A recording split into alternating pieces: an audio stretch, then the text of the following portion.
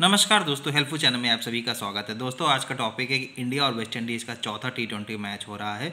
Match कौन जीतेगा match कौन हारेगा? आज की वीडियो बताएँगे। चैनल को सब्सक्राइब कर लीजिए चाहे रेड बटन होगी, इसको क्लिक कर दीजिए, उसके बगल में रिंग बेल होगी, इसको प्रेस कर दीजिए, ताकि नई वीडियो अपलोड होने पर नोटिफिकेशन के रूप में मिल जाए। समस्या हो तो मेल कर दीजिएगा Nitin five four nine eight the rate G mail dot com पर डिस्क्रिप्शन में मेल आईडी है लोशो क्लासेस स्टार्ट है। वैदिक K P Lal Kitab tarot palmistry vastu match के पटिशन क्लासेस स्टार्ट है। अब नोट्स भी उपलब्ध हैं, आपको मिल जाएँगे। अब चलते हैं टॉपिक की तरफ़ कि इंडिया और वेस्ट इंडीज़ का जो ये मैच हो रहा है, इसमें मैच कौन जीतेगा, मैच कौन हारेगा। दोस्तों, आज भी यहाँ पे इंडिया के फेवर में ही मैच जा रहा है। टॉस और मैच दोनों ही इंडिया जीतेंगे और स्कोर बनेगा एक सौ पैंसठ से लेके एक सौ पचहत्तर।